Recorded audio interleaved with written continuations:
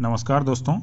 आज का वीडियो उन किसानों के लिए इम्पोर्टेंट होने वाला है जो सरसों का खेती करते हैं। सरसों का खेती करते हैं और वो माहू कीट, जिसको कि हम लाही के नाम से भी जानते हैं, वो उनसे काफ़ी ज़्यादा परेशान हैं। तो उसके लिए वो कौन सा दवाई इस्तेमाल करेंगे? तो डाई मिथोएट थर्टी इसी और मिथाइल ओ डेमेटोन। ये दो दवा होता है। इसका क्या, कैसे, कितना मात्रा में इस्तेमाल करना है, सभी जानकारी आप लोगों को वीडियो में बताने वाला हूँ।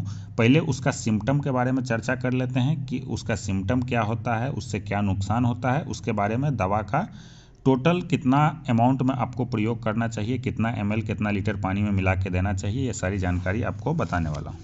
तो वीडियो को शुरू से लेकर लास्ट तक देखिए, बस वीडियो बहुत ही छोटा होने वाला है।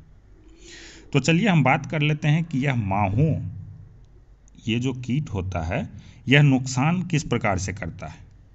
तो इस कीट के शिशु एवं प्रौढ़ पौधों को कोमल जो पत्तियाँ होती हैं, उसके फूल जो लगते हैं, उसको यह चूसता है और उसको क्षतिग्रस्त करता है।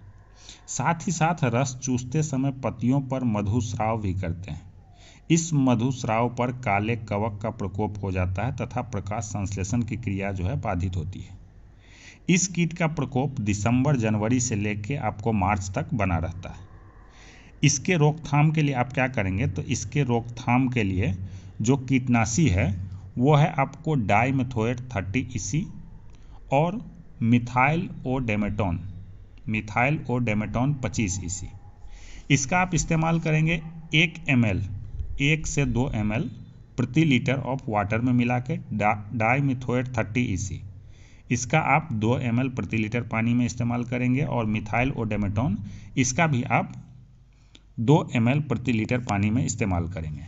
वैसे अगर आप एक हेक्टेयर में करते हैं तो 700 से 800 लीटर आपका पानी खर्चा होता है, जिसमें कि आप एक लीटर एक लीटर उसमें मिला देंगे, उसके बाद आप उसका छिड़काव अपने खेत में कर सकते हैं।